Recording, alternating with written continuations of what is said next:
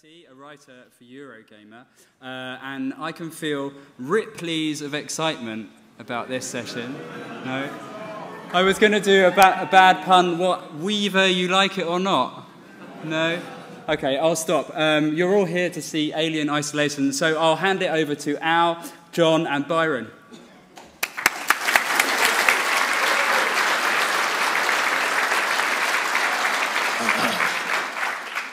Hello, everyone. Um, welcome. Thanks for coming.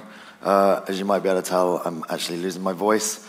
Um, I hope it, hope it stays long enough for me to get through this part. Um, you know, for us, Alien Isolation really is the alien game that we've always wanted to play. Um, a game that goes back to the roots of the series, back to that Ridley Scott Haunted House in Space. you know, we really wanted to make a game where just one alien could be a really meaningful and really terrifying interaction for the player. You know, um, for us, the alien very much is the star of the show. You know, it's very dynamic and reactive. It's, uh, it's very unpredictable and, and utterly, uh, you know, very frightening. It's at the core of the game, and it's the, it's, it's the core that we built the rest of the game around. Yet, for the alien to really truly work, we had to create a very believable world. We wanted to make a game that really immersed the player, that really, really sucked them into the atmosphere. Um, you know, we wanted to create an alien game like no other. So today, we're going to take you behind the scenes. We're going to show you some of the ways in which the incredibly talented team at Creative Assembly put this world together. Um, and we're going to show you a little bit of an insight into how we went uh, through creating the original uh, uh, content with the uh, original crew and cast uh, for the bonus content. So please welcome uh, sound designer Byron Bullock and lead audio, that's lead audio, lead UI designer uh, John McKellan.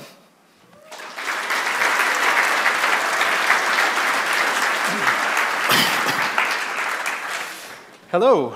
So, um, yeah, so some people may have seen a little bit of this that we talked about at Rezzed before, um, but just kind of want to recap about um, how we went about kind of creating uh, the new spaces that you see in Sevastopol um, out of a film that was kind of set in a very small space. You know, the Nostromo in the original film was pretty small, we didn't see much of it. Um, so this was a, a real challenge for us to extrapolate from what we saw and, and create whole new spaces. So um, what we really did was look at um, deconstructing the film to all its component parts. You know, we, we really tore apart every scene, um, every bit of set design to try and work out how this was built. And what we would do is we'd create archetypes. And an archetype um, would be a style guide of props, uh, materials, fixtures, fittings, you know, everything that we could work out. How did they light those spaces? How, what, what uh, materials did they use to build the sets and how would they react to the light? Everything we could. Um, this would be used to create a visual language which we could then move on from and, and create whole new assets and whole new spaces for the Sevastopol that looked and felt like they could have been just beyond a closed door on the Nostromo. You know, they'd feel uh, authentic but still be original, still be new for the player. Luckily, we were given a massive archive, um, three terabytes worth of stuff from Fox, um, of imagery and, and uh, uh, you know, behind the scenes stuff that was complete gold dust. That really helped us um, understand how things were done back then.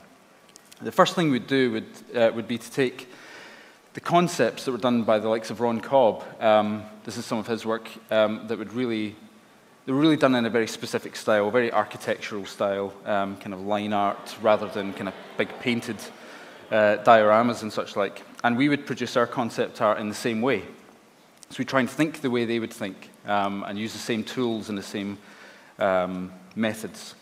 Um, so this is a, an idea of a habitation archetype, the kind of living spaces, and, and how we would take what was in the film and stretch it out. So, um, and here you've got some of, on the left-hand side, some uh, patterns, new wall paddings, um, what, what it would look like damaged, that kind of thing. Really helped us explore that.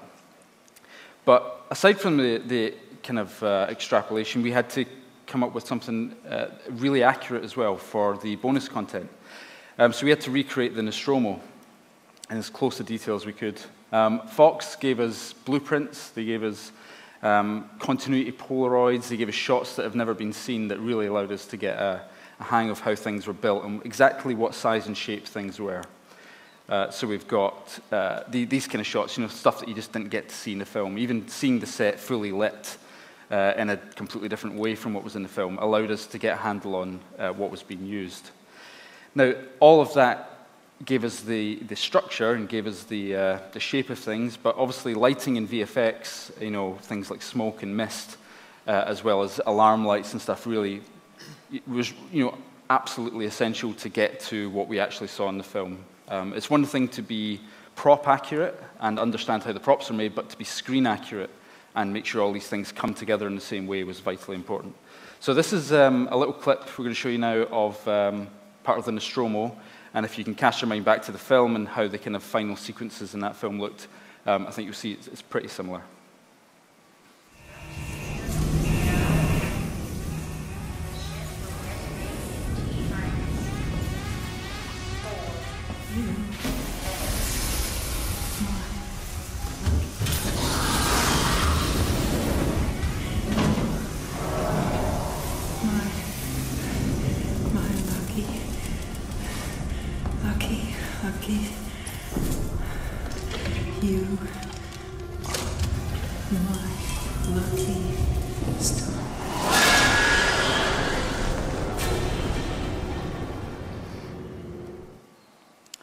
So that's a little bit of uh, gameplay from the uh, pre-order content.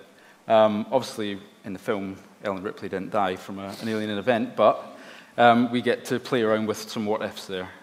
Um, along with the space, we had to create, uh, recreate the Nostromo crew. You know, this is the first time the crew had kind of gotten back together for 35 years, um, and we had to kind of recreate their likenesses. Um, Normally, we would look at things like um, still images and press images, anything that gives us a real high resolution look at um, these, these people's uh, faces from different angles. Um, so we had to recreate the cast. Now, it's 35 years ago, it's not now. So, you know, things like scanning is out of the question at this point. Um, we're trying to recreate a likeness from a long time ago. Uh, we would use film stills and screenshots and try and get the best reference possible. But what we're really looking for is the kind of front side elevations, you know, these kind of uh, side-on shots that really give us an you know, unfiltered look at what these guys look like. And luckily, the Fox archive had a few gems in there that made it really, you know, really easy for us to do. Um, continuity Polaroids existed. Um, now, cont continuity Polaroids, they kind of take at the end of each day to make sure that, you know, the costume is correct and hair is in the right place so that there's continuity between each day of filming. Um, and they'd taken all these shots of the main cast so we had the perfect reference material that we couldn't have, uh, we just did not expect to have this kind of stuff. Um, so this was um, what we used to generate the final assets. We used these as reference and also the kind of more press shots, you know, stuff that wasn't uh, stills from the film but was on set. And that allowed us to create the likenesses of uh, Ripley and Co. Now, moving on from the Nostromo, um, this kind of uh, building a bigger world, building the Sevastopol. Again, the Nostromo is a pretty, this is roughly square footage what we kind of see in the film. And there's not much more to the Nostromo layout than this. Um, but we had much more to create um, for the Sevastopol. And this is just some of it. Uh, there's a lot more to come from that. Um, so we had a big challenge there because we couldn't, you know, even just looking at that, it's quite interesting that you can you can see that you can't just stick to the same shapes. You can't stick to the exact same layout of the Nostromo and do that for um, a full game campaign. We had to vary those spaces and create much larger rooms to explore, um, you know, layered sections that you wouldn't normally see. Um, so being a space station rather than a ship, there needed to be larger sections. You know, it couldn't all be corridors. It had to look beyond what we see in the Nostromo. Um, now, we do have those claustrophobic areas, those vents, and those, those areas that really feel you know, unpleasant to be in. Um, but the larger places would provide relief from that claustrophobia. It would add its own gameplay element, which would be that, you know, in a corridor you've got kind of danger from in front and behind, but in a wide open space you can breathe a bit more, but you're now open from any angle for attack. So it's a kind of trade-off in comfort there. Um, now these larger spaces are still informed by the archetypes, are still, you know, inspired by the original architecture, but they are completely unique. Um, a couple of concept examples. This is um, some observation sections with multi-layers, which you've not seen before. Um, some you know, lobby areas that, that lead on to much more complex spaces. They have these kind of central hubs, and also things like transit stations and uh, spaceports, you know, these large, really large areas that funnel a lot of people through um, that are completely new. Now, with these large spaces, we've got to try and bring them to life and, and inject some detail in there.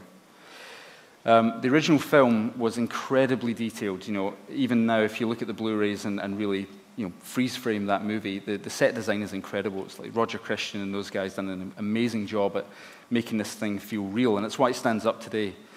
Um, so to make, it, to make the Sevastopol believable in the same way, we had to keep that level of detail going through all of our spaces throughout the station. You know, it had to con consistently be detailed.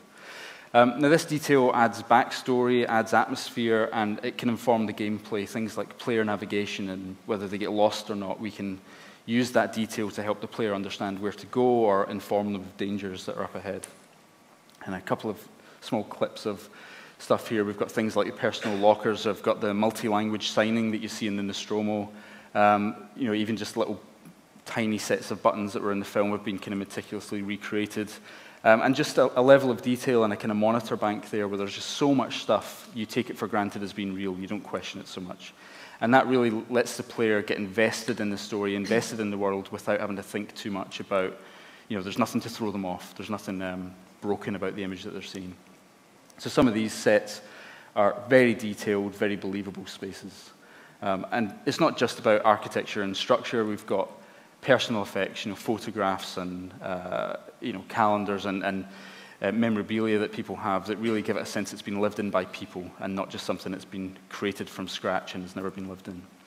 So this is just one part of it. This is uh, the, the, visual side of things. I'll hand you over to Byron just now to talk about the sound, and uh, then we'll show you how this all comes together. So thank you.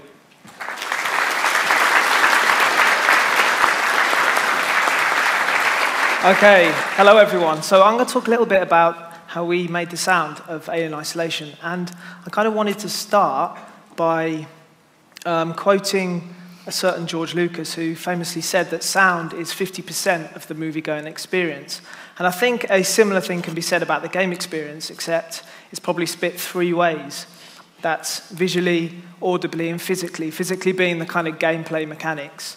Um, so we can say that sound is a third of the game going experience, which isn't quite as catchy as what George said, but um, nevertheless, the more important thing, I think, is that all three of these kind of systems have to, disciplines, should I say, have to come together at the right time to make a really immersive experience. So, why is sound such an important part of the game going experience? Well, first of all, sound is a really emotional medium. It kind of works on a subconscious level. So it can evoke all kinds of feelings like anxiety, fear, um, stress, tension, release. And that's a really important part of creating a horror experience because we want to push the player kind of emotionally in certain ways. We want to make them feel scared and we want to make them feel anxious. That's a really important part. Um, also, sound is quite an um, immersive medium. It helps to ground objects and add a sense of realism. And also, sound isn't bound by the confines of a picture frame or the edges of a TV or the edges of a, a film, um, a theatre, for example. It's a lot more than that. It can tell us what's happening in the other room or behind the other side of a wall or down the other end of a corridor. It's not confined by what's happening here and now. It tells us a lot more.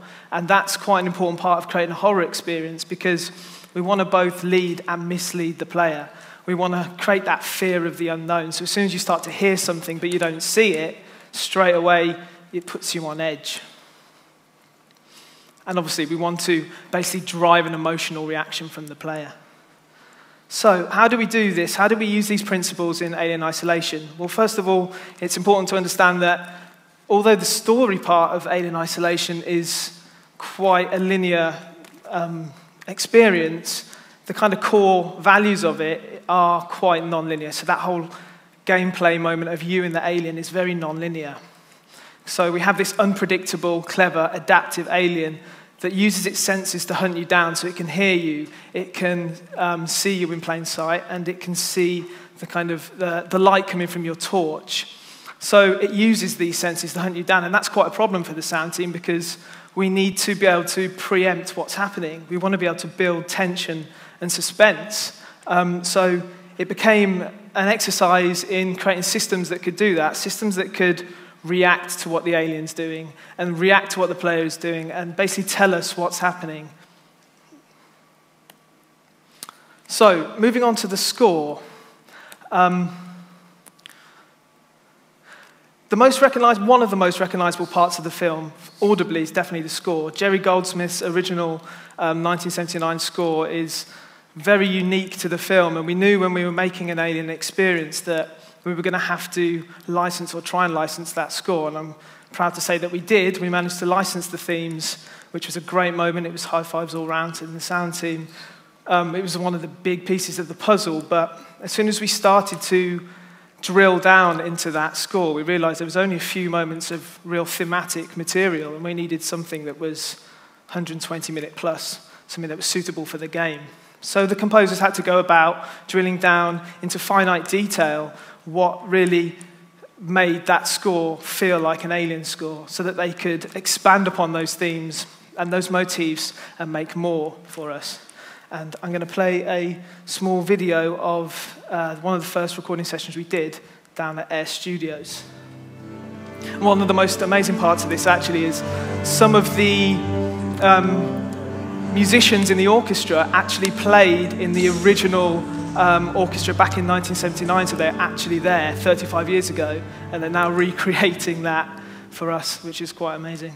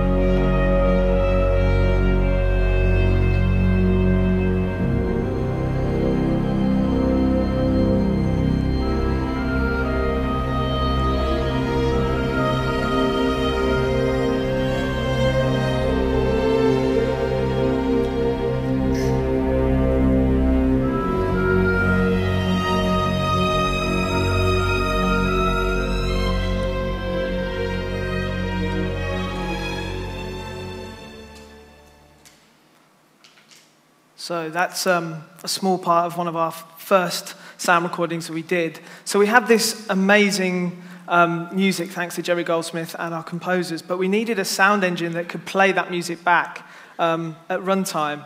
So we couldn't have a static score. That score needed to be able to change, it needed to be able to adapt and almost remix and react to what was happening. Um, it needed to be able to change uh, depending what the player was doing, but also on what the alien was doing. We needed to be able to drive both suspense and tension. Um, and I'm going to show a small game clip now which shows that kind of system running.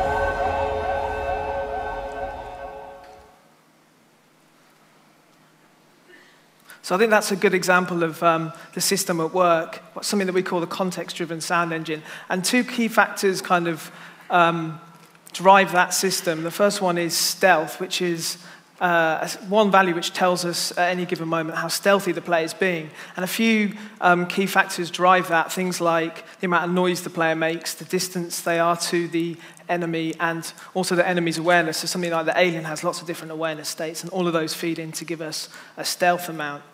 Um, secondly, threat, which is distance to the enemy and the enemy's awareness. But you might look at those and think, well, they're kind of the same thing, but they act very differently. Um, a good example might be as soon as the alien sees you, um, you're probably about to die unless you've got the flamethrower active. But at that point, your threat is maxed out and your stealth is zero because you're being the most unstealthy person on Sevastopol.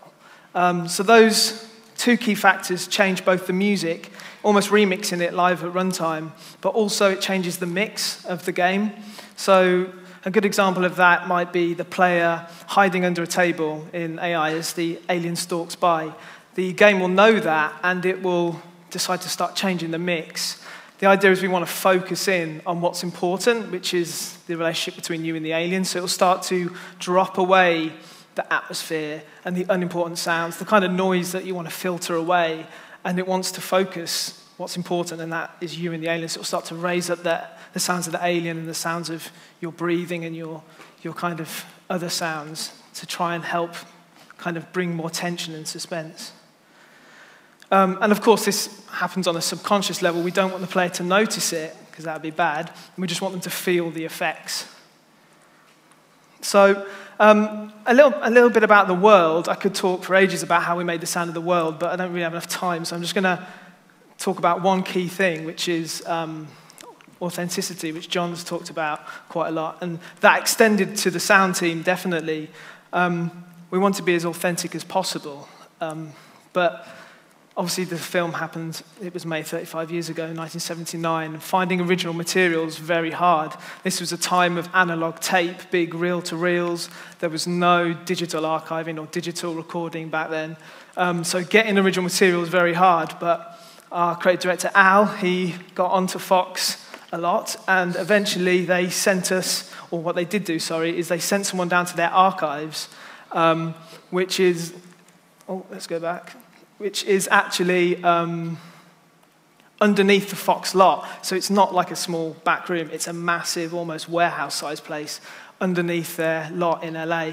And um, they brought us back some reels, some analog reels, and they said, Do you want these? It's got like Alien M&E written on it. And we were like, Yeah, we just want anything, just send it over.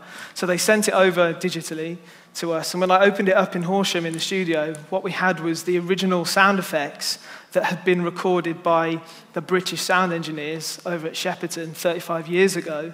Um, so this wasn't the whole film, this was just the small independent sound effects that were supposed to support the music.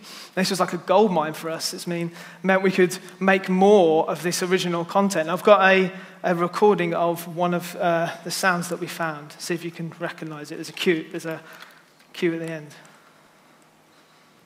Clue at the end. Effects one. Effects one.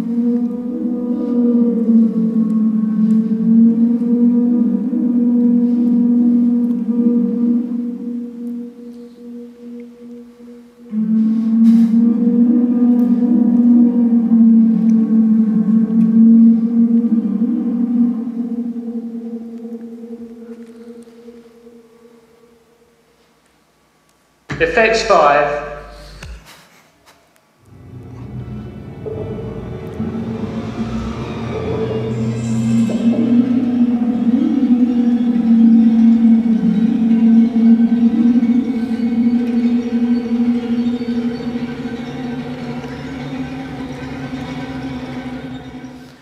So, um, along with the British sound engineers, you also heard what we dubbed the space whale, which um, we've used that like loads in the, in, in the game everywhere. But what we've been able to do is take the original recordings and we've been able to make more, which is amazing. And what I really like is the fact that these sounds have been gathering dust for 35 years.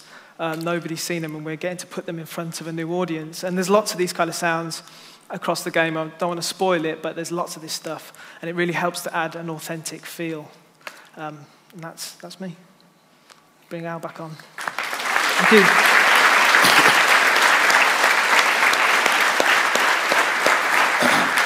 Thanks, guys. Um, so actually, we just wanted to kind of pull, oh my goodness, uh, pull this all together uh, and show you a slice of the game, uh, which we haven't really showed much of, um, and that's the start of the game. Uh, no spoilers, don't worry. Um, but uh, this gives a good uh, little glimpse of, of all of that incredible work coming together right now.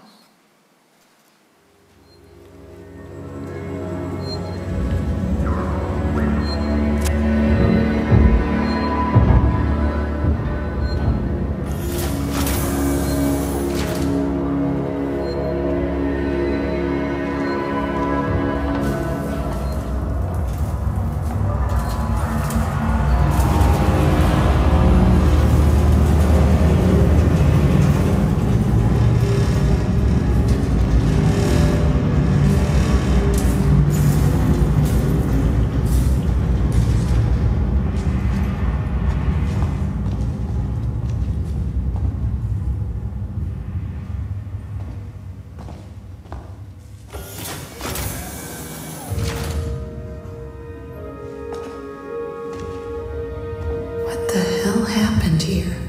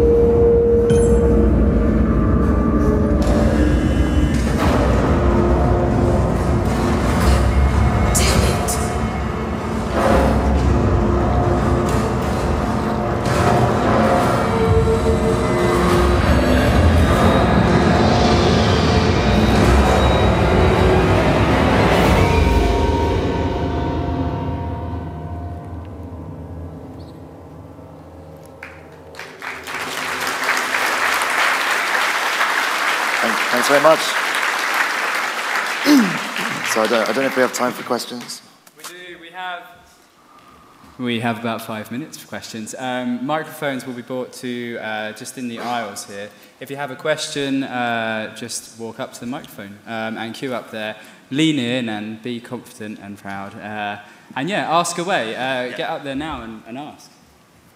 Hi there. Uh, I just wanted to ask, how did you balance uh, between keeping the game suspenseful and tense all the time, but not exhausting the player? Yeah, I mean, yeah, I mean that's an interesting question. I mean, we, you know, this game has to be about tension and release. It can't be kind of unrelenting. I don't think that'd be much fun. Um, you know, but at the same time, uh, uh you know, we, we, I think we try and take a step back as much as possible. We create the structure. You know, we have this cool story that's going to pull you through, and we kind of put the main beats down um, uh, and the kind of key events. But what happens in between is kind of down to the systems and down to you, down to your choices. And so, um, you know, if you want to hide in a locker for five minutes and have a bit of downtime, you can have a go at that. Um, uh, so you can help drive that, that kind of, that, that kind of uh, roller coaster. Um, but yeah, I mean, absolutely. I mean, we never want the player to feel safe, 100% safe. Uh, but there are moments where we want the player to be able to uh, breathe a sigh of relief, you know, kind of collect their thoughts before embarking once again into the unknown. Uh, my question is going into a similar direction. Um, I've seen that you're, you're working on a, a VR mode for um, isolation as well.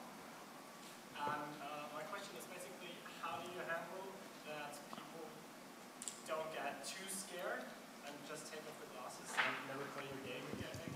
just just to uh, repeat the uh, question, he's asking about, for the Twitch people who won't be able to hear, he's asking about VR and how people get too scared, maybe, to play the game. Yeah, um, that's not our problem. Um, uh, That's definitely. We get Uh, scared. Yeah. No, you know, so, hey, you know, we, at E3 we showcased our Alien Isolation kind of Oculus Rift prototype.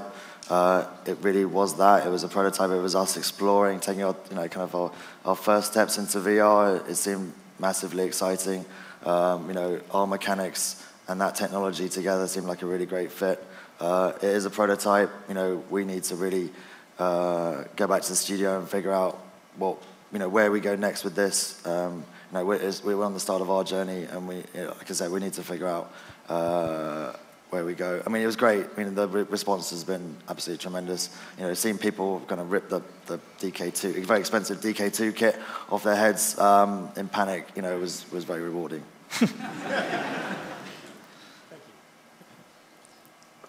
Hi. Uh, I was just wondering, how similar were you aiming the game experience to be to the movie experience?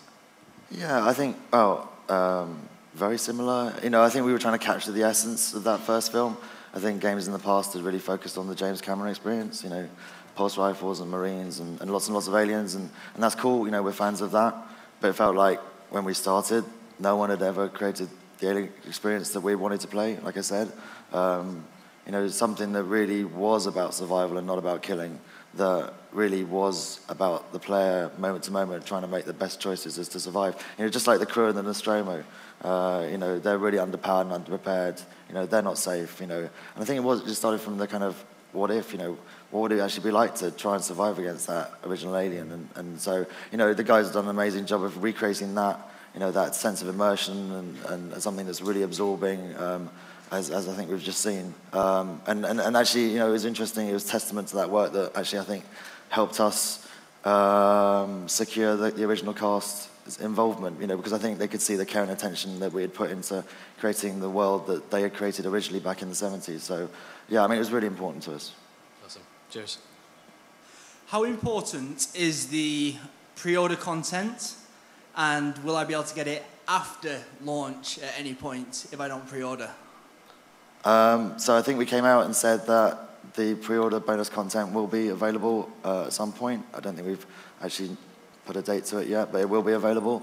Um, and as to the how important, uh, it's very important to us. Uh, it's, um, it's great. Uh, it's, it's, you know, we, we, I think we refer to it as bonus content. You know, the main game is very much its own story. Uh, and, and that's, I guess, the, uh, the main thing for us. But uh, we had this amazing opportunity to work with the original cast, to reunite them for the first time, to, to have them kind of recreate um, that, that sort of the moments from that first film. Um, it is bonus content. It's, it's, it's fantastic. And, and, and you know, it, yeah, like I said, it will be available at some point. Um, so for me, the last Aliens game, Colonial Marines, was a total letdown. I just wondered what kind of pressure you felt. Let's face it, guys. Come on, you know, wasn't it? Um, what kind of pressure did you feel to deliver uh, for the fans that have really wanted this quality Aliens game for quite some time? Well, I think we put an enormous amount of pressure on ourselves. Um, we don't need anybody else's pressure. Um, you know, we, because this game came from us. This was the game that we wanted to make. Um, it- you know, and, and, and I guess, you know, we have very high, high standards. We, we kind of set ourselves very um, demanding goals. And, you know, I think that was, that was the most important thing for us. You know, we, we started this game four years ago, or just over four years ago now. Um, you know, way before Colonial Marines came out. And so we, we, you know, we knew what we were trying to create and the goals that we were trying to achieve and, and have stayed really super focused on that the entire time. You know, how, however, you know, we were not completely, you know, isolated. You know, we did hear the commentary around Colonial Marines and, and uh, when it came out, but, you know, at the same time, it seemed quite reassuring. There seemed to be a lot of people saying, can we have a scary aliens game, you know, where one alien is actually super terrifying. And, and I think that was the reassuring thing for us is that was the game we were making. So it felt like there was an audience out there uh, who, like us, really wanted the, the experience that we were putting together. So, uh, you know, we couldn't tell anyone, but uh, that, was, that was good to know. Well, I can't wait anyway. So. Thank you. Okay, we got time for one more quick one. Oh, Okay. Um, I was really surprised to see how much of the original um, elements from the movie um, you actually managed to dig up, like a whole sound library of sounds and these kind of things. So I was kind of wondering um, when I saw the kind of headshots of the people turning around, that um, you know that's like a 3D artist's dream because they you know they can model Yeah. around it. I wondered at what point did you manage to unearth all these kind of elements? Had you already started the game and then suddenly came across these kind of things, or did you? You know, did you know from the start that you had all these elements? Because I, you know, I, it must have been a wonderful surprise for you guys. Uh, yeah, I mean, do Well, I mean, we- we were given everything as a, as a, a you know, a big a dump of information where we had what was it, three terabytes worth Yeah. of stuff, which is takes a bit of time to go through. Um, and you, you start going through that and looking for the stuff that's relevant at each time as you approach different things. And so we we did learn so much from that very early on, and it, it was always a source to go back to. Like even up until the very last stages of development, we're still dipping into that reference and looking for things and noticing new things. You know, But- um, yeah. sorry. But I was just thinking to, to your point about, um, you know, I think, you know, you, sit, you, go, you go through all this stuff and you go, right, this is good, this is, you know, this is amazing, this is relevant, maybe not so relevant right now. Um, but you have these kind of crazy ideas about getting the original cast involved, and, and it's when it starts to become more of a reality that you kind of think, hang on, don't we have the original cast members' headshots somewhere? And, it, it- and yeah, exactly. You know, it's a, it, it comes back, and, and, and it was absolutely perfect. I mean, we couldn't have had a more perfect reference. It's wonderful. Thank you. Thanks. Thank you, everyone, for coming, and thanks of all, uh, most of all to Al, Jon, and Byron.